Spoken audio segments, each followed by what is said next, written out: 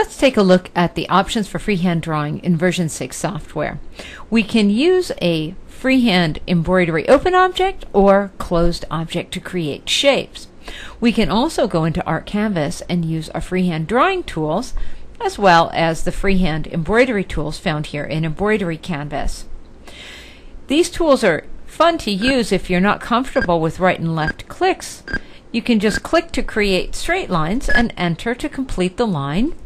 Or to create curves, just click and hold down your mouse button and drag your mouse or your pen around the screen and you can see I get beautiful curved lines. Now I have increased the smoothing. As soon as you activate one of these tools, you can change your smoothing anywhere from 0 to 100%. Another nice feature is that I don't have to worry about where I start and stop my lines. I can just draw as I like, enter to complete my line, and if I select different objects, I can select and delete my straight lines, select the objects I created, and use my black work run and an enter to have those shapes combined into one continuous stitch with no jumps.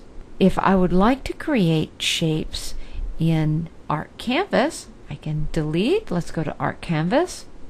I'll go ahead and delete this graphic and use my freehand draw tool. Again, I can just click to create a straight line, or if I would like to sketch, just click and hold down the mouse and create sketching lines. When I am finished with my sketch, all I need to do is click and select Convert Vectors to Embroidery to see my stitches generated